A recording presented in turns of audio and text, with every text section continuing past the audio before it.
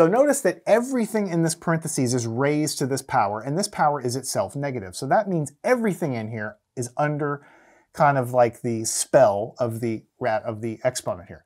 So because it's negative, we're going to drop everything below, and we're going to make it negative 125 to the positive one-third. The negative comes with it because it's in parentheses, and, and the one-third, a negative one-third exponent applies to the whole thing. So you drop the whole thing down, make it a positive exponent. And then we know that one-third power means negative 125 is a cube root. Cube root goes uh, there because that's a one-third power.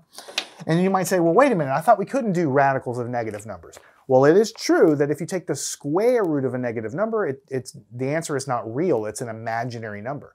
But this is not a square root, it's a cube root.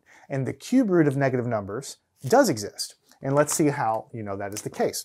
So if this were just a positive 125, the way that you would write it is you would say 5 times 5 times 5. 5 times 5 times 5, because this is 25, and then 25 times 5 is 125. But this isn't quite right because you have a negative there.